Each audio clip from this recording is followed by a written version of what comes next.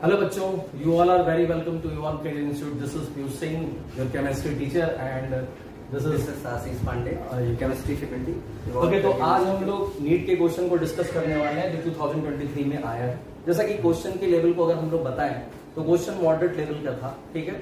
अगर ऑर्गेनिक के क्वेश्चन से क्वेश्चन देखा जाए तो ऑर्गेनिक के क्वेश्चन में कम से कम 18 क्वेश्चन ऑर्गेनिक के थे और इनऑर्गेनिक के 15 से 16 क्वेश्चन थे बाकी 17 क्वेश्चन फ़िज़िकल के थे। अगर क्वेश्चन का लेवल देखा जाए तो बहुत फ्लैट क्वेश्चन था। पाँच छह क्वेश्चन ऐसे थे जिसमें रैंक बन सकता है। अगर वो पाँच छह क्वेश्चन आप लोगों ने सही किया होता तो रैंक आपका और भी इंप्रूव हो सकता है। मेरे ख्याल से मुझे लगता है कि फोर्टी क्वेश्चन तक आपको बहुत आराम से कर लेना चाहिए था। चलिए देखते हैं कि क्वेश्चन कैसा है और कैसा क्वेश्चन का पैटर्न है और क्यों मैं फोर्टी क्वेश्चन बोल रहा हूँ। डिस्कशन करते ही समझ में आएगा आप लोगों को। चलिए क्वेश्चन नंबर वन से स्टार्ट करते हैं। ठीक है? क्वेश्चन नंबर वन, देखिए एनसीआरटी का एकदम पेज पे लगा हुआ क्वेश्चन है बायोमोलिक्यूल का क्वेश्चन है, ठीक है? क्वेश्चन क्या बोल रहा है तो आपको देख रहे होंगे कि given low statement statement one दिया हुआ है। A unit form by the attachment of base to one position of sugar is known as nucleoside ठीक है? अब न्यूक्लियोसाइड की अगर हम बात करेंगे तो आपको सबको पता है कि न्यूक्लियोसाइड में अगर हम लोग देखते हैं तो इस तरह का स्ट्रक्चर होगा स्ट्रक्चर ठीक है? और यहाँ क्या लगा होता है आपका सी और यहाँ क्या लगा होता है ओ OH. तो पहला स्टेटमेंट तो बिल्कुल सही है। अब स्टेटमेंट नंबर टू की बात करते हैं। ठीक है nucleoside is link the phosphorus acid देखिए, यहाँ पे अक्सर बच्चे गलती कर सकते हैं, क्योंकि सबको पता है कि ठीक है अटैच तो होता ही है। लेकिन यहाँ पे क्या लिखा हुआ है? फॉस्फोरस एसिड अस, यानी अस वाला एसिड है, जिसमें फॉस्फोरस अपने लोअर ऑक्सीडेशन स्टेट पर होता है। जबकि न्यूक्लियोसाइड में जो इस टू पे O पर जो फास्फोरस लगा होता है, वो प्लस फाइव ऑक्सीडेशन स्टेट पर होता है, जो उसका मैक्सिमम होता है, इस वजह से फास्फोरस की जगह क्या होना चाहिए था बेटा? फॉस्फोरिक एसिड होना चाहिए था। तो स्टेटमेंट टू तो गलत हो गया और स्टेटमेंट वन बिल्कुल सही है। तो इसका सही आंसर जो होगा statement one is true but statement two जो है वो आपका गलत है। तो बहुत आसान सा क्वेश्चन था एनसीआरटी बेस ठीक है? आइए क्वेश्चन टू पे चलते हैं। क्वेश्चन टू तो बहुत ही आसान है। एकदम आसान क्वेश्चन है। आपको पता होगा कि डबल बॉन्ड से अटैच कार्बन जो होता है, वो कौन सा कार्बन होता है बेटा? एलाइलिक कार्बन और एलाइलिक कार्बन से लगा हुआ ग्रुप क्या होता है? एलाइलिक ग्रुप होता है। क्योंकि ये एक्स जो लगा हुआ है, ये एलाइलिक कार्बन पे लगा हुआ है, इसलिए सिंपल फ्लैट क्वेश्चन का आंसर इसका क्या होगा? एलाइलिक हैलाइड इसलिए ऑप्शन थर्ड इसका बिल्कुल सही है। जिन बच्चों ने थ्री किया होगा थ्री का नंबर प्लस फोर मिल जाएगा। ठीक है? आइए क्वेश्चन नंबर थर्ड पर डिस्कशन करते हैं। Which of the following statement are not correct इसमें से कौन सा स्टेटमेंट करेक्ट नहीं होगा? ये हाइड्रोजन का चैप्टर है, ठीक है? जो कि तुम्हारा एस ब्लॉक के बाद आता है हाइड्रोजन बहुत आसान क्वेश्चन है एनसीआरटी बेस्ड क्वेश्चन है. इसमें स्टेटमेंट देखिए. तो पहले हम डी स्टेटमेंट में देखते हैं कि the H H bond dissociation is lowest यार, हो नहीं सकता। क्योंकि हाइड्रोजन की साइड छोटी होती है तो इसमें one S one S overlapping होता है। और one S one S overlapping जो होती है बहुत स्ट्रॉन्ग ओवरलैपिंग होती है। तोड़ना डिफ़िकल्ट होता है। तो इसलिए यहाँ पे जो लोएस्ट बोला ये तो क्या हो गया? तुम्हारा गड़बड़ हो गया। ठीक है? और हाइड्रोजन रिड्यूस ऑक्साइड यानी इसका आंसर अगर देखा जाए तो एक तो डी हो गया। राइट सर ठीक है? और कौन सा हो सकता है? देखिए इसमें ई स्टेटमेंट को पढ़ा जाए। Hydrogen reduce oxide to metal that more reactive than iron नहीं नहीं। ये इलेक्ट्रोकेमिस्ट्री का क्वेश्चन है। हाँ। इसमें कुछ इलेक्ट्रोकेमिस्ट्री के क्वेश्चन है क्योंकि हाइड्रोजन की रिएक्टिविटी जो होती है नीचे होती है आयरन से तो ये भी गड़बड़ हो गया। तो उसका सही आंसर क्या होगा? D and E okay easy question है। कुछ ज़्यादा दिमाग लगाने क्वेश्चन नहीं। अब देखिए, तीसरा 54 क्वेश्चन बहुत ही फ्लैट क्वेश्चन है यार।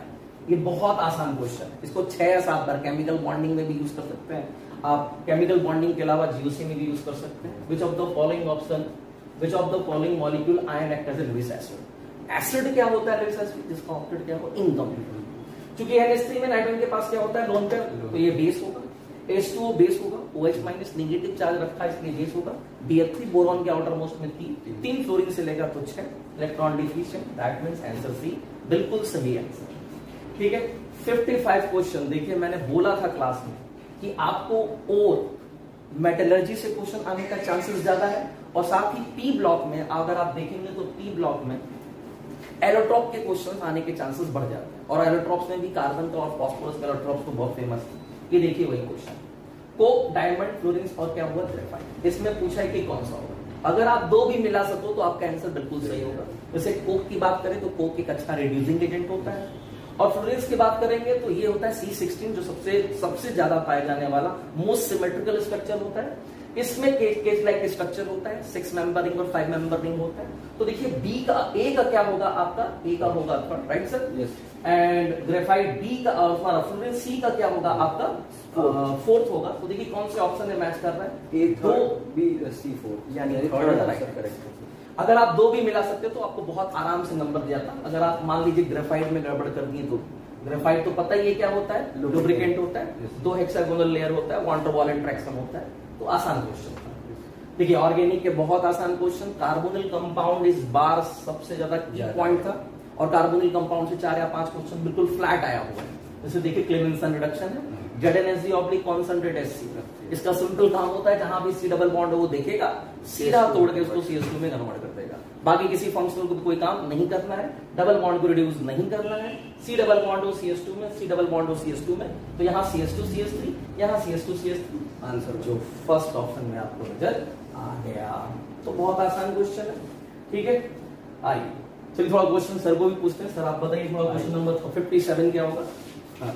ये दे रहा weight of two moles of organic compound uh, which is obtained by heating of sodium ethanol with sodium hydroxide in presence of calcium hydroxide तो ये NaOH और ये आपका हो गया CaO ये आपका होता है डिकार्बोक्सिलेटिंग एजेंट तो यहाँ से ये कार्बन निकाल देगा कार्बन डाइऑक्साइड तो हमको जो एल्केन मिलेगा वो एल्केन होगा CH4 Free draw. एल्केन होगा CH4 और इसका मॉलिक्यूलर फार्मूला हो जाएगा 16 अब ये कह रहा है इसका टू मोल्स लेना है तो टू मोल्स पे इसका आंसर आएगा 32 फिर नेक्स्ट आते हैं ये भी इजी क्वेश्चन था. Fifty consider the following statement reactions and identify the product देखिए ये जो रिएक्शन है यहाँ पे इनिशियली डिहाइड्रेट होगा और जब डिहाइड्रेट करेगा तो कार्बोकैटायन बनेगा. और सबसे स्टेबल कार्बोकैटायन यहाँ पे बनेगा थ्री डिग्री का कार्बोकैटायन तो आंसर आपका हो जाएगा फ़र्स्ट बस एक चीज़ रखिएगा जब कार्बोडाइन बनेगा तो यहाँ से हाइड्राइट शिफ्ट कराना मत भूलिएगा क्योंकि हाइड्राइट शिफ्ट करने के बाद बी आर अटैक करके first one is the correct answer हो जाएगा। ये है given below are two statements one is labelled as assertion and other is labelled as reason assertion है in equation gives free energy is equal to minus of N F E the value of delta gives free energy depends on N और reason दिया हुआ है E cell is intensive property and R G is extensive property तो ये एकदम सही बात है कि जो आपका ई ऑफ़ सेल होता है, यानी uh, इलेक्ट्रॉन पोटेंशियल होता है, वो इंटेंसिव है और गिफ्ट फ्री एनर्जी चेंज ये आपका एक्सटेंसिव होता है तो इस तरीके से आंसर हो जाएगा both assertion and reason are true and reason is correct explanation of A बिल्कुल सही बात है, क्योंकि यहाँ पे डेल्टा जी माइनस एन है और एन क्या होता है? इलेक्ट्रॉन का कितना ट्रांसफ़र हो है। सिंपल क्वेश्चन था फ्लैट क्वेश्चन था।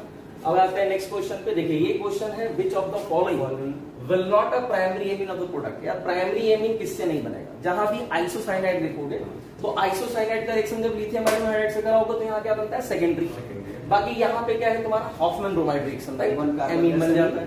साइनाइड लिथियम हाइड्राइड एमीन बन जाता है। अमाइड एमीन बन जाएगा लेकिन इस केस में क्या बनेगा? सेकेंडरी इसलिए third one is the right answer आओ क्वेश्चन नंबर 61 पे चलते हैं। चलो सर। देखिए। नंबर 61 सर देखते हैं सर। ये भी एक assertion रीजन का क्वेश्चन है और assertion दिया हुआ है। A reaction can have zero activation energy तो रिएक्शन की एक्टिवेशन एनर्जी ज़ीरो हो सकती है मींस assertion करेक्ट है। फिर दूसरा दे रहा reason the minimum extra amount of energy absorbed by reactant molecules so that their energy becomes equal to threshold energy. Is called as activation energy. ये भी सही चीज़ है कि जो एक्स्ट्रा एनर्जी चाहिए थ्रेशोल्ड तक पहुँचने के लिए वो एक्टिवेशन एनर्जी है। तो इस तरीके से एसर्सन और रीजन दोनों ही सही है। बट रीजन इस बात को एक्सप्लेन नहीं कर रहा है कि कैसे एक रिएक्शन की एक्टिवेशन एनर्जी ज़ीरो हो सकती है। मींस जो आंसर होगा, वो होगा second means both assertion and reason are true but reason is not correct explanation of A फिर आते हैं sir second sixty two question पे। देखिए यहाँ पे लिखा हुआ है होमोलिप्टिक कॉम्प्लेक्स तो होमोलिप्टिक कॉम्प्लेक्स का मतलब हो गया ऐसे कॉम्प्लेक्स जहाँ सिर्फ़ एक टाइप का लिगेंड हो। और देखिए फ़र्स्ट ही ऑप्शन में लिखा हुआ है potassium tri oxalato aluminate third तो यहाँ पे ऑक्सलेट लिगेंड है और तीन ऑक्सलेट लिगेंड है। मींस यही आपका होमोलिप्टिक लिगेंड कोऑर्डिनेशन कंपाउंड का ये बहुत आसान क्वेश्चन है। जबकि कोऑर्डिनेशन कंपाउंड की अगर बात करें तो कोऑर्डिनेशन कंपाउंड का वेटेज में तीन या चार क्वेश्चन रहता है। इस बार दो क्वेश्चन था, दो या तीन। ठीक है, लेकिन आसान क्वेश्चन था ठीक है? अब देखिए, पूछ रहा है which of the following example of heterogeneous catalyst आसान क्वेश्चन है। हेट्रोजीनियस कैटलिस्ट का मतलब कि अगर मान लीजिए रिएक्टेंट है और कैटलिस्ट है, अगर सेम फ़ेज़ में होते हैं तो होमोजीनियस और अगर डिफरेंट फ़ेज़ में होते हैं तो क्या होता है? आपका हाइड्रोजीनियस सिंपल सी बात है। अब यहाँ पे अगर आप देखें तो इस केस में अगर अगर हम बोल रहे combination between dinitrogen and dihydrogen यानी N two plus three S two give two N S three और उसके लिए हम लोग किस कैटलिस्ट का यूज़ करते हैं? आयरन जो कि क्या होता है? सॉल्ट ठीक है? इस वजह से यहाँ पे डिफरेंट फ़ेज़ में होने की वजह से, और इसका आंसर क्या होगा तुम्हारा? Four one is right answer ठीक है? बात समझ में आ गया? अब देखिए, ये एस ब्लॉक का क्वेश्चन है लिक्विड अमोनिया का, याद रखिएगा किसी भी एल्किल मेटल को जब लिक्विड अमोनिया के अंदर डालते हैं तो एल्किल मेटल लिक्विड अमोनिया में क्या होता है? सॉलेबल ये रेयरेस्ट रेयरेस्ट एक्सेप्शन ठीक है ना अब लिक्विड अमोनिया के अंदर जब एल्कली मेटल डालते हैं तो पूरा सोल्यूशन किस कलर का होता है? ब्लू कलर का होता है। बिल्कुल सही है। तो deep blue solution due to formation अब पहला क्वेश्चन देखो metal metallic sodium dissolve in liquid ammonia give deep blue solution ठीक है? और solution will show paramagnetic property paramagnetic और इलेक्ट्रॉन के वजह से। राइट लेकिन दूसरा रीजन देखिए the deep blue solution due to formation of amide नहीं। अमोनिएटेड इलेक्ट्रॉन के वजह से होता है, ना कि अमाइड के वजह से होता है। ठीक है ना? तो पहला, ये तो एसेसन सही है, और रीजन क्या हो गया? गलत गलत। यानी इसका आंसर क्या हो जाएगा बच्चों? Third is two and R ठीक है? ये बहुत आसान क्वेश्चन है 65 इंट्रैक्शन फोर्स है। ठीक है? ये आप पढ़े होंगे। केमिकल बॉन्डिंग में ही पढ़ाया जाता है, और वॉन्डरवॉल में पढ़ाया जाता है। आसान सा dipole dipole force yes dipole induced dipole force बिल्कुल सही है। Hydrogen bonding yes covalent bond no ये एटम्स के बिल्कुल से और ये डिस्पर्सन फोर्स मॉलिक्यूल्स का यानी इसका आंसर क्या हो जाएगा? A B C and R correct आसान क्वेश्चन ठीक है? अब आइए यहाँ पे क्वेश्चन क्या आ गया ये देखिए number of sigma pi and lone pair of the paradigm अभी तो बहुत आसान क्वेश्चन है ठीक है? सिग्मा पाई और लोन पेयर पैराडाइम क्या होता है तुम्हारा? C six C five H five ये क्या होता है तुम्हारा? एन यहाँ नाइट्रोजन होता है। ठीक है? अब नाइट्रोजन के पास क्या होता है? आपका एक लोन पेयर होता है। नाइट्रोजन के पास क्या होता है? एक लोन पेयर होगा। पाई हम्म। बॉन्ड कितने होते हैं भाई? तीन पाई बॉन्ड होते हैं ठीक है? तो तीन पाई एक और सिग्मा काउंट करोगे तो सिग्मा काउंट करने के बाद आप देखोगे सिग्मा कितने आएँगे? ग्यारह। यानी ग्यारह सिग्मा तीन पाई और एक क्या हो गया? ठीक है?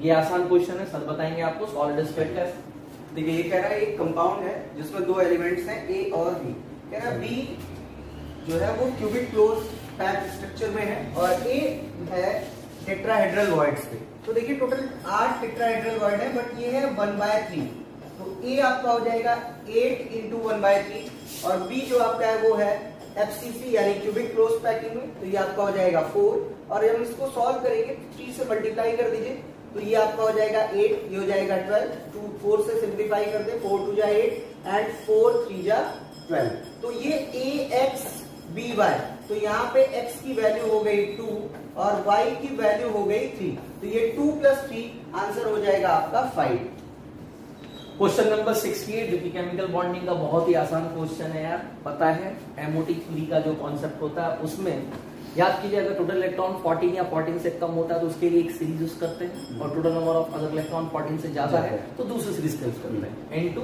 चौदह इलेक्ट्रॉन है हाँ। कुछ सीरीज़ का यूज़ करेंगे बस एक ही सीरीज़ दिमाग में रखेगा सिग्मा टू पी जेड बाद में चला जाता है पाई टू पी एक्स और पाई टू पी वाई पहले आ जाता है। फ्लैट क्वेश्चन है फ़र्स्ट वन इज़ राइट ठीक है?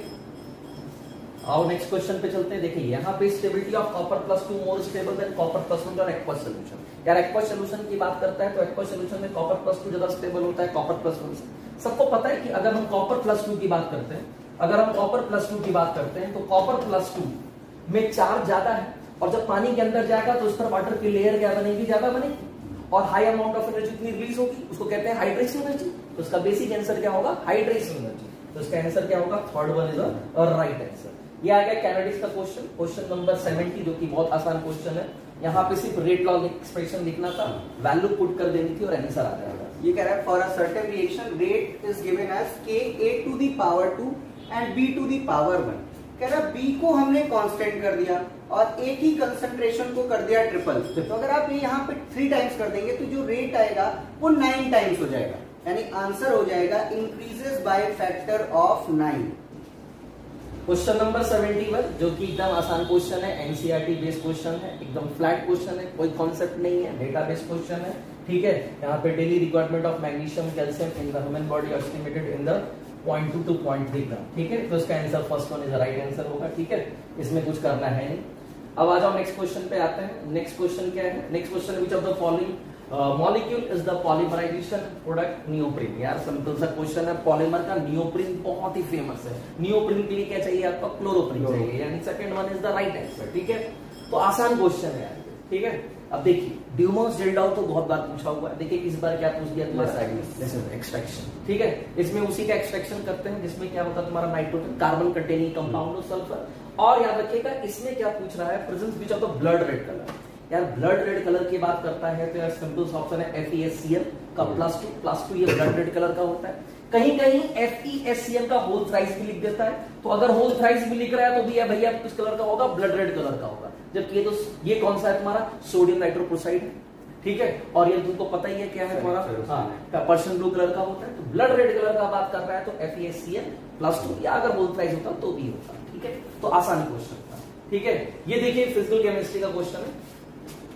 क्वेश्चन नंबर सेवेंटी फोर देखिए कह रहा है कि mass of oxygen carbon dioxide निकालना है by heating 20 gram 20 percent pure limestone तो सबसे पहले हम यही निकाल लें कि यहाँ पे लाइमस्टोन है कितना? तो 20 का 20 परसेंट यानी ये हो जाएगा 20 इंटू ट्वेंटी अपॉन हंड्रेड और एक ज़ीरो से एक ज़ीरो ये आपका हो गया फोर ग्राम अब हम निकाल लेते हैं देखिए 100 ग्राम कैल्शियम कार्बोनेट से बनता है 44 ग्राम कार्बन डाइऑक्साइड तो एक से हो जाएगा 44 फोर बाई हंड्रेड और फोर से कर देंगे तो आप यहाँ कर देंगे मल्टीप्लाई और जब मल्टीप्लाई करेंगे तो आपको मिलेगा आंसर 176 डिवाइडेड बाई 100 और दो ज़ीरो आप हटाएँगे तो यहाँ डेसिमल लग जाएगा और आपका आंसर हो जाएगा 1.76 ग्राम जबकि आप क्वेश्चन देख रहे हो तो क्वेश्चन का लेवल बहुत ज़्यादा नहीं है।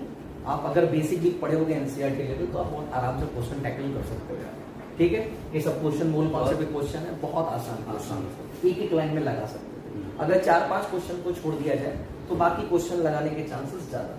जैसे देखिए ये क्वेश्चन द पूछा total number of species not having the eight electron around centre metal outer shell में मतलब आठ इलेक्ट्रॉन ठीक है? अब देखिए अगर NH3 की बात करेंगे तो नाइट्रोजन का आउटर मोस्ट में कितना होता है? तीन एक्स आठ। इसके तो आठ हो गए। ठीक है एल्यूमिनियम एल्यूमिनियम के आउटर मोस्ट में कितने होते हैं? तीन। और तीन थोड़ी से लेगा तो कितना होगा? सिक्स यानी इसका तो नहीं है। नहीं। BCl2 भी नहीं होगा? यहाँ भी फोर ही होगा। CCl4 में कार्बन के आउटर मोस्ट में चार। चार। और तीन तो चार आठ आठ हो गया। PCl5 तो दस हो जाए दस हो जाएगा। क्योंकि वैकेंट डी ऑर्बिटल हाँ। तो। इसका आंसर कितना हो जाएगा? कितने हो गए एक- तुम्हारे? एक, दो और दो तीन। तीन। आंसर यानी क्या first first answer। Easy question था। ठीक है? क्वेश्चन नंबर 76 सर देख लेते हैं। एक स्टेटमेंट बेस्ड क्वेश्चन है कह रहा है atoms of all elements are composed of two fundamental particle बिल्कुल गलत है। तीन फंडामेंटल पार्टिकल्स होते हैं। कह रहा है mass of electron is 9.1 into 10 to the power minus 31 kg. एकदम सही। आइसोटोप्स की केमिकल प्रॉपर्टी सेम होती। ये एकदम सही स्टेटमेंट है। और प्रोटॉन और nucleon electron proton and electrons are collectively called at nucleon ये गलत है। प्रोटॉन और न्यूट्रॉन को मिला करके न्यूक्लियन बोला है। और लास्ट है Dalton's atomic theory regarded regarded the atom as ultimate particle ये एकदम सही चीज़ है। मीन्स हमारे सही स्टेटमेंट हो गया बी सी और ई e. यानी हमारा जो आंसर होगा, वो होगा fourth B C and E अब देखिए, ये क्वेश्चन बहुत आसान है। Element accepted to form the largest ion achieve the nearest noble gas configuration कि आइसोइलेक्ट्रॉनिक की बात नहीं किया है तो भी कोई बात नहीं। ठीक है लार्जेस्ट आयन कौन होगा? जो आइसोइलेक्ट्रॉनिक जिस, जिसका मतलब कॉन्फ़िगरेशन नॉर्मल गैस के पास पहुँच जाए। या सबको पता है कि oxygen outer valence minus two होता है फ्लोरीन माइनस वन होता है सोडियम प्लस वन और नाइट्रोजन कितना होता है माइनस थ्री सात और तीन कितना होता है दस? आठ दो दस नौ और एक दस ग्यारह में से क्या दस। They all are isoelectronic but ion ज़्यादा किस पे होगा? नाइट्रोजन पे जिस वजह से ये कहाँ पहुँच जाएगा? नॉर्मल गैस कॉन्फ़िगरेशन पूछा भी है तुम्हारा क्या? लार्जेस्ट आंसर क्या हो जाएगा? थर्ड होगा ठीक है? अब देखिए, ये वाला क्वेश्चन इस क्वेश्चन पे बातें बहुत हो सकती हैं भाई साहब। ठीक है? Stability factor which of the following respect correct relationship correct order पूछा है स्टेबिलिटी का। इनर्ट पेयर इफ़ेक्ट आपको पता होगा बोरॉन फैमिली में ठीक है? थैलियम है इरिडियम तो इनर्ट पेयर इफ़ेक्ट में हैवी एलिमेंट कैनेस इलेक्ट्रॉन केमिकल रिएक्शन में पार्टिसिपेट नहीं कर पाते हैं अब देखिए टी यहाँ पे दिया हुआ है TlCl3 एंड TlCl और बोल रहा है TlCl3 क्या हो रहा है? मोर स्टेबल देन TlCl जबकि थैलियम यहाँ पे कितना होगा? तुम्हारा प्लस वन फॉर्म में होगा। और यहाँ पे किस फॉर्म में होगा? तुम्हारा प्लस थ्री फॉर्म तो ऑब्वियस सी बात है इनर्ट पेयर इफ़ेक्ट में जब नीचे जाते हैं तो प्लस वन की स्टेबिलिटी इंक्रीज करती है और प्लस थ्री की डिस्क्रीज करती है। तो प्लस वन का स्टेबल होगा प्लस थ्री से। यानी इसका आंसर क्या होगा? फोर लेकिन एक चीज़ में रुक जाएगा अब एनटीए क्या आंसर देता है, वो मुझे पता नहीं है, लेकिन मैं एक और कॉन्सेप्ट बता दूँ। देखिए इनिडियम का ट्राई आयोडाइड है, और यहाँ पे क्या है ये? इनिडियम प्लस वन में और ये प्लस थ्री में। तो भाई प्लस थ्री तो ज़्यादा स्टेबल होगा प्लस टू से। यानी ये भी आंसर हो सकता था। इस और इस आंसर में अब एनटीए क्या देता है, मुझे पता नहीं, क्योंकि यहाँ पे टीएल आई थ्री की अगर बात करेंगे तो ये यहाँ पे ये पॉलीहेलाइड है। अगर TL plus I three minus तो अगर ध्यान से देखा जाए तो ये भी प्लस वन में, ये भी प्लस वन तो मेरे ख्याल से इसका आंसर क्या होना चाहिए, वो तो बात एनटीए बताएगा ही। अगर इसमें थोड़ा कंट्रोवर्सी हो सकती है तो इस क्वेश्चन को आप एनटीए पे ही छोड़ दिया जाए। ठीक है? आते यार क्वेश्चन नंबर गैस स्टेट में। ठीक है? ये ग्राफ वाला क्वेश्चन है इजी क्वेश्चन ठीक है यहाँ पे बॉयल्स लॉ के ग्राफ बोल रहा है। तो पहला ग्राफ है पी और बी में, ये ग्राफ सही बना हुआ है। और कह रहा है टेम्परेचर का रिलेशन बताना है तो देखिए, हमको अगर कोई भी रिलेशन बताना है, हम एक वैल्यू को कांस्टेंट कर दें। हमने यहाँ पे वॉल्यूम कर दिया कांस्टेंट अब हम सीधे प्रेशर और टेम्परेचर का रिलेशन लगा देंगे।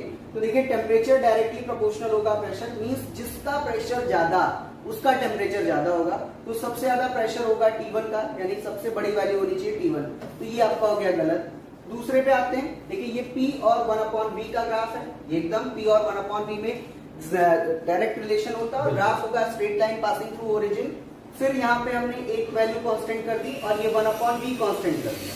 जब कांस्टेंट कर देंगे, फिर से P और T में डायरेक्ट रिलेशन आ जाएगा। यानी जिसका P ज़्यादा उसका वो टी ज़्यादा होगा तो सबसे बड़ा पी आपका होगा टी थ्री के लिए फिर होगा टी टू और फिर हो जाएगा T1 हाँ। यानी आपका करेक्ट आंसर हो जाएगा टी थ्री फिर आपका टी टू और फिर आपका हो जाएगा टी वन इस तरीके से करेक्ट आंसर हाँ, जो कि स्ट्रेट लाइन इक्वेशन है राइट और इनसे पास होगा। बिल्कुल सही है आसान क्वेश्चन है राइट बहुत आसान क्वेश्चन सर नेक्स्ट क्वेश्चन पे आते हैं। ये देखिए ऑर्गेनिक केमिस्ट्री क्वेश्चन है। Identify the product of the following reaction diazonium है Cu2Br2 HBr के रिएक्शन में डाइजोनियम में N2 गैस बाहर निकल जाएगी यहाँ क्या लग जाएगा? Br bromine. यानी फ़र्स्ट में तो क्या बन जाएगा आपका? ब्रोमो ये कोई दिक्कत वाली बात नहीं है राइट उसके बाद बोल रहा है मैग्नीशियम ट्राई ईथर की प्रेजेंस में तुरंत क्या बना देगा? ग्रिग्नाइट ग्रिग्नाइट। और ग्रिग्नाइट जब बनेगा तो यहाँ पे क्या लग जाएगा? आपका एमजीबीआर सिंपल बात है यहाँ क्या लग जाएगा आपका? एमजीबीआर ग्रिग्नाइट ग्रीन का ये बॉन्ड टूटेगा यहाँ क्या आएगा? नेगेटिव और जब नेगेटिव आएगा तो वाटर के प्रेजेंस में ये अपना एक्स परसेंट दे देगा इसको। और ये क्या बना लेगा? बेंजीन यानी इसका आंसर क्या हो गया? सेकंड बहुत फ्लैट क्वेश्चन है इजी क्वेश्चन देखिए, ये भी आसान क्वेश्चन है। कंप्लीट द फॉलोइंग रिएक्शन भाई, ये साइनोहाइडिन रिएक्शन है। एल्डिहाइड एंड कीटोन का वेटेज इस बार ज़्यादा था। तीन क्वेश्चन चार क्वेश्चन तो मैंने ऐसे देख लिया अब देखिए, ये क्या है? तुम्हारा एसियन साइनोहाइडिन रिएक्शन है। सबको पता है कि ये न्यूक्लियोफिलिक एडिशन रिएक्शन होता है। ये सीएन माइनस यहाँ अटैक करेगा और यहाँ पे आएगा नेगेटिव पैच अटैक कर लेगा ये भी। बी दिया हुआ है कोई दिक्कत नहीं है। कॉन्सेंट्रेट एस्टोसोफोर एल्कोहल्स कैसा कहता है? डिहाइड्रेशन और जब डिहाइड्रेशन करेगा तो यहाँ से वाटर का लॉस हो जाएगा और यहाँ चाहे आप यहाँ से निकाल लो चाहे से यहाँ से निकाल लो बीटा हाइड्रोजन तो डबल बॉन्ड क्या बन गया यहाँ पे? अच्छा जो वाटर निकला वो साइनाइड क्या कर देगा? हाइड्रोलिसिस और साइनाइड की हाइड्रोलिसिस से हमेशा क्या बनता है आपका? एसिड बनता है। तो देखिए कौन से ऑप्शन में एसिड डबल बॉन्ड लगा हुआ है। फोर्थ वन फोर्थ वाला तो आसान क्वेश्चन है फोर्थ वाला। ठीक है? नेक्स्ट क्वेश्चन की तरफ़ देखते हैं कौन सा क्वेश्चन है? ये क्वांटम नंबर का बहुत आसान क्वेश्चन है। Magnetic quantum number m is equal to कितना होता है तुम्हारा? 12 12 प्लस 1 होता है ना बच्चों? L क्या होता है? एजिमुथल क्वांटम नंबर जो क्या बताता है? सब सेल ये ओरिएंटेशन को। अब इन दोनों में रिलेशन पूछा है यार। तो बताओ m minus one by two is equal to कितना हो जाएगा? M तो कौन सा आंसर मैच कर रहा है? सर फ़र्स्ट फ़र्स्ट इजी है आइए सर पे देखते हैं फिर। ये ये इनऑर्गेनिक के क्वेश्चन है। आसान क्वेश्चन। ये कह रहा है helium is used to dilute oxygen in diving apparatus ये एकदम करेक्ट बात बिल्कुल। पहले नाइट्रोजन भी यूज़ करते थे इसका भी यूज़ करते हैं बिल्कुल सही है। बट फिर रीजन में दे रहा है helium has high solubility in oxygen ये गलत चीज़ है। हाँ क्योंकि अगर हीलियम ब्लड के अंदर मिल जाएगा तो प्रॉब्लम ज़्यादा हो जाएगा। ठीक है? तो इस तरीके से इस क्वेश्चन का आंसर हो जाएगा थर्ड आइए सर हम एटी थर्ड फोर्थ क्वेश्चन पर डिस्कशन करते हैं। देखिए ये कह रहा है एक सेंटीमोलर सोल्यूशन है जिसकी कंडक्टिविटी है point zero two one zero और कह रहा है इसका हमको सेल कांस्टेंट निकालना है तो ये रिलेशन होता है conductivity equals to one upon resistance into cell constant हम यहाँ पे वैल्यू रख देंगे ये हो जाएगा point zero two one zero और रेसिस्टेंस आपका हो गया वन अपॉन सिक्सटी तो ये आपका हो गया सेल कांस्टेंट यहाँ से हम एल अपॉन ए की वैल्यू निकालेंगे तो ये आ जाएगा 1.26 सेंटीमीटर फॉर्मूला पुट करना था भाई कुछ बहुत आसान क्वेश्चन था सर ये सिर्फ़ फॉर्मूले पे ही रखना। ये भी देख लीजिए sir. are lis- uh, listed below. Wh- Which one will uh, one one from the following belongs to barbituric acid देखिए सीकोनल वेरोनल ये सारे बार्बिट्यूरेट्स बार्बिट्यूरेट डेरिवेटिव होते हैं। तो यहाँ पे वेरोनल दिया हुआ है। यानी आंसर आपका हो जाएगा वेरोनल यहाँ पे देखिए question number 86 which of the following will be the most deadly dehydration under the acidic condition acidic condition की बात कर रहा है। इसके भी कंट्रोवर्सी हो सकती है यार। ठीक है कुछ लोग प्रोडक्ट के थ्रू प्रोडक्ट के थ्रू रेट बताएँगे कि कौन सा ऑप्शन होगा, कुछ इंटरमीडिएट की स्टेबिलिटी को देखिए क्योंकि डिहाइड्रेशन फ़र्स्ट कार्बोकेटाइन की स्टेबिलिटी पे डिपेंड करता है। अब यहाँ पे देखिए, अगर मैं इसकी बात करूँ, उस ऑप्शन नंबर वन की तो अगर X प्लस आइन यहाँ पे अटैक करेगा तो X प्लस आइन के अटैक करने पर यहाँ से वाटर का लॉस होगा कार्बो कार्बोकेटाइन बनेगा और ये माइनस आई लगा के कार्बोकेटाइन को अनस्टेबल कर देगा। जबकि कार्बोकेटाइन स्टेबल होना चाहिए। ठीक है? दूसरे क्वेश्चन की अगर बात करें तो देखिए, अगर यहाँ पे X प्लस आइन अटैक करता है तो यहाँ से वाटर का लॉस होगा कार्बोकेटाइन बनेगा। और अगर हम हाइड्राइड पर, अगर एक्सप्रेस आइन यहाँ अटैक कराते हैं वाटर का लॉस हो कार्बोकेटाइन हाइड्राइड आइन यहाँ से बना के निकालेंगे तो ये रेजोनेंस की वजह से क्या करेगा? प्रोडक्ट को स्टेबल बना देगा। तो इसका मतलब अगर प्रोडक्ट की स्टेबिलिटी में देखा जाए तो second is the right answer लेकिन अगर सब कार्बोकेटाइन की स्टेबिलिटी को देखा जाए तो ये वाले कार्बोकेटाइन अगर बनेगा तो यहाँ पे ये NO2 काफ़ी दूर है। तो माइनस आई इफ़ेक्ट लगाने की कम होगी। तो भैया, इस पे भी एनपीए पे छोड़ दिया गया, मेरे हिसाब से, क्योंकि इसका आंसर फोर्थ और सेकंड दोनों में से कुछ भी। अगर प्रोडक्ट के अकॉर्डिंग देखेंगे तो सेकंड और अगर इंटरमीडिएट के अकॉर्डिंग देखेंगे तो अच्छा क्वेश्चन है, यहाँ पे चांसेस बन सकते हैं, ठीक है? आइए। ये बहुत आसान है यार टॉलेंस रेटिंग फिर से बोल रहा हूँ एल्डिहाइड कीटोन तो एकदम फोड़ के रखता है छह से सात क्वेश्चन एल्डिहाइड कीटोन के मिले हैं कार्बोनिल के। ये देखिए टॉलेंस रिएजेंट और टॉलेंस की खास बात क्या होती है? एल्डिहाइड को एसिड में कन्वर्ट करता है और कीटोन पे इसका कोई फ़र्क नहीं पड़ता। ये कीटोन है, कोई फ़र्क नहीं पड़ेगा। इस एल्डिहाइड को कन्वर्ट किसमें करेगा? एसिड में सॉल्ट ऑफ़ एसिड में। देखिए किस ऑप्शन में एसिड है? ये देखिए CO minus salt of acid ketone पे कोई फ़र्क नहीं पड़ा। Third one is the right answer आसान क्वेश्चन ठीक है? आइए इस क्वेश्चन पे चलते हैं। ठीक है? Which of the following statement are incorrect ना सर कौन सा स्टेटमेंट इसमें से इनकरेक्ट करेक्ट यार स्कैंडियम एमओ देखो स्कैंडियम तो एमओ बनाई बनाई सिंपल सी बात हम्म। अब इसका अगर एनी इनऑर्गेनिक में क्वेश्चन देखा जाए तो उसका सिंपल आंसर है सी एंड डी होगा। सी हाँ। क्यों होगा? द बेसिक करेक्टर इंक्रीज इतना टू इतना। नहीं यार ऑक्सीडेशन हम्म। नंबर बढ़ने से एसिडिक बढ़ेगा। राइट हाँ। तो ये गड़बड़ हो गया। यानी सी और डी देखिए। डी क्या है? V2O5 dissolve in acid to give VO4.2 minus 1 यानी इसका सही आंसर क्या होगा? सी एंड डी होगा। ठीक है? अब आ गया क्वेश्चन नंबर क्या है तुम्हारा? 89 89 थर्मोडायनामिक्स का कॉन्सेप्ट है यार। फ्लैट एकदम formula delta H is equal to delta U plus P delta V और पी डेल्टा वी का क्या करेंगे? डेल्टा एन इनटू आर यानी सेकंड इज़ ठीक है? इस क्वेश्चन में भी ज़्यादा टाइम बर्बाद करना नहीं है। ठीक है? अब यहाँ पे क्वेश्चन यहाँ पे क्वेश्चन क्या पूछ रहा है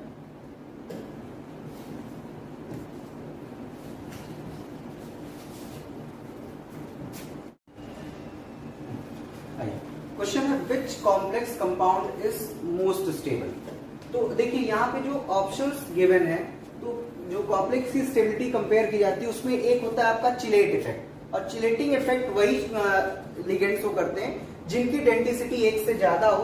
तो देखिए, अगर हम इस तरीके का देखेंगे तो यहाँ पर एक ही कॉम्प्लेक्स है, जहाँ पर डाइडेंडेट लिगेंड एन दिया हुआ है तो आंसर आपका हो जाएगा थर्ड हाँ सर इसमें एक भी ध्यान देना, अगर डोनर साइड कार्बन होते, तब यहाँ पे यह हार जाता। ठीक है चिलियन स्टेबल हाँ। होता है लेकिन तब जब डोनर साइड कार्बन ना हो तब। तो इसलिए सही आंसर आपने सर ने सही बोला इज़ राइट आंसर अब आ हैं ये क्वेश्चन तो बहुत फ़ेमस है देखो पी ब्लॉक का क्वेश्चन है ठीक है? एक तो परोक्साइड लिंकेज है और परोक्साइड लिंकेज में क्या होता है? S O O S linkage होता है। यानी दो सल्फ़र के बीच में क्या होता है? आपका ऑक्सीजन हो जाता है ठीक है? और यहाँ पे डबल बॉन्ड हो डबल बॉन्ड हो ये क्या होता है? ओ एच डबल बॉन्ड हो डबल बॉन्ड हो और ये क्या होता है? ओ एच यह मार्शल एसिड है सबको जानता होगा? हाँ। और ये तो पायरोसल्फ्यूरिक एसिड जिसको कहते हैं ओलियम ये होता है S two S two seven S two S two seven में कैसा लिंकेज होता है? एस ओ एस लिंकेज तो यार स्टार्ट कर देते हैं पहला बताइए सर ए का जो है उसके अंदर परोक्साइड लिंकेज तो है थर्ड हो? जाएगा। ए का थर्ड हो गया। ए का थर्ड दिल्ली जैसा फ़र्स्ट हो। जाएगा। यानी इसमें। और सी में फ़र्स्ट सी का देखिए फ़र्स्ट होगा ठीक है ना? सी का फ़र्स्ट मतलब एसओएस लिंकेज होगा। हाँ। और सल्फ्यूरस में तो यार एस डबल बॉन्ड हो ओएच ओएच एक डबल बॉन्ड हो और दो ओएच यानी कौन सा ऑप्शन मैच कर रहा है? यानी इसका डी का सर फ़र्स्ट होगा राइट हाँ। तो देखिए डी का डी का सेकंड डी का सेकंड डी का सेकंड तो यानी कौन सा ऑप्शन हो गया? सेकंड आंसर ठीक है? Balance the chemical reaction redox है बहुत आसान क्वेश्चन है देखिए देखिए यहाँ पे हम इसको बैलेंस कर लेंगे। सबसे पहले आप यहाँ पे लगाएँगे। ठीक है उसके बाद हम देखेंगे नंबर ऑफ़ यहाँ पे ऑक्सीडेशन नंबर का चेंज तो इस रिएक्शन में चेंज आएगा सिक्स का और यहाँ पे चेंज आ जाएगा टू का। तो हम थ्री इसमें मल्टीप्लाई कर देंगे। यहाँ पे हो गया थ्री और इसके बाद ऑक्सीजन नंबर काउंट करेंगे तो यहाँ पे आ जाएगा एट फोर और यहाँ पे आ जाएगा एट यानी आंसर आपका हो जाएगा one three and eight clear है बात? बस सिंपल है यार अलग अलग रिएक्शन लिखो सीआर टू सेवन पे two minus CR plus three में जाएगा एसओ फोर एसओ थ्री पे टू माइनस कहा जाएगा एसओ फोर पे टू माइनस में जाएगा। ठीक है? और फिर रिएक्शन को बैलेंस करना, दो हाफ़ सेल लो, दो हाफ़ सेल लेने क्रोमियम का एसओ फोर का, और लास्ट में हम लोग क्या करते हैं? एच प्लस वाटर जोड़ने के बाद एच प्लस आयन को देख लेते हैं। तो यार सिंपल सा क्वेश्चन इसका वन थ्री एट ही आएगा ठीक है? What fraction of one eighth center of octahedral void lie in a one unit cell of the FCC ठीक है? चार यूनिट सेल में एक ऑक्टाहेड्रल है। तो एक यूनिट सेल में आपका हो जाएगा वन बाय फोर यानी सीधे से आंसर हो जाएगा वन बाय बहुत आसान क्वेश्चन सॉलिड ठीक है? आ जाओ नेक्स्ट क्वेश्चन पे चलते हैं। नेक्स्ट क्वेश्चन अरे यार which of the following of compound species is a Huckel's यार हकल्स की बात कर रहा है तो आपको सिर्फ़ क्या देखना है? Four N plus two is equal to pi electron ये देखना है. Four N is equal to pi electron four N plus two is equal to pi electron को अगर देखेंगे तो देखिए ये है तुम्हारा। एक दो दो चार दो छह दो आठ दस। ये एरोमेटिक को फॉलो करेगा हकल्स रूल को सेकंड इसमें देखिए सेकंड में दो पाई इलेक्ट्रॉन दो पाई इलेक्ट्रॉन और ये भी तो देगा। हाँ। छह यहाँ भी, भी हो गया।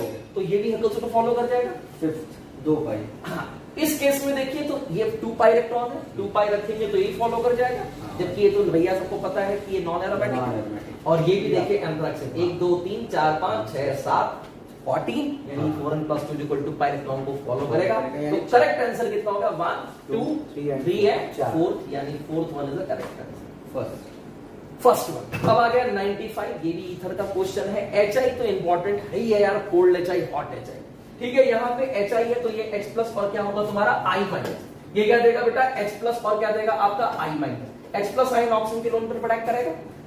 भाई, ये वाला बॉन्ड तो टूट नहीं सकता है ना, क्योंकि इसका लोन पर कंजुगेशन है तो ऑब्वियस सी बात है, यही वाला बॉन्ड टूटेगा। जब ये वाला बॉन्ड टूटेगा तो यहाँ पॉजिटिव क्या अटैक कर लेगा? आई माइनस तो ये हो जाएगा सी एस टू आई और ये हो जाएगा फिनॉल ठीक है? तो सी एस टू आई और फिनॉल कहा दिया हुआ ये देखो सी एस टू आई और यानी इसका आंसर क्या होगा? इजी क्वेश्चन था ये। ठीक है? आ जाओ 96 क्वेश्चन देखते हैं। ठीक है दे रहा है equilibrium constant equilibrium concentration of species are 2 3 10 and 6 और कह रहा है uh, 300 डिग्री सेंटीग्रेड टेम्परेचर है और फिर आगे ले रहा है। फ्री ड्रॉप और जी डेल्टा जी नॉट की वैल्यू निकालिए। देखिए ये होता है delta G naught equals to minus two point three zero three R T log के बेस टेन हम यहाँ पे वैल्यू रख देंगे देखिए ये हो जाएगा minus two point three zero three R की वैल्यू टू कैलोरी लिया हुआ है और ये हो जाएगा थ्री हंड्रेड और ये क्या आपका है इक्विलिब्रियम कांस्टेंट और इक्विलिब्रियम कांस्टेंट होता है प्रोडक्ट ऑफ़ प्रोडक्ट कंसंट्रेशन तो प्रोडक्ट आपका है टेन एंड सिक्स और रिएक्टेंट आपका हो जाएगा सिक्स तो ये सिक्स बाई टेन सिक्स से आप सिक्सटी को डिवाइड करेंगे टेन हो जाएगा. और लॉग टेन बेस टेन की वैल्यू हो जाएगी वन तो आप जब इसको पूरा सॉल्व करेंगे आंसर आएगा minus thirteen hundred eighteen thirteen hundred eighty one point eight zero यानी third one right sir calorie चलो ये भी आसान क्वेश्चन था। ये बता दीजिए सर 97 देखिए। तो पहले बता दिया जाए सर कि एनसीईआरटी का एकदम फ्लैट है यार। इसमें कुछ भी नहीं कर सकते हैं जिसको। एनसीईआरटी नहीं पढ़ा उसको शायद ये क्वेश्चन छोड़ना पड़ता छोड़ना। ये एकदम फ्लैट क्वेश्चन है। Statement one is incorrect but statement two क्या होता है? तब करेक्ट होता है। एनसीईआरटी पे आप ज़रूर देख लीजिएगा। फ्लैट क्वेश्चन ठीक है?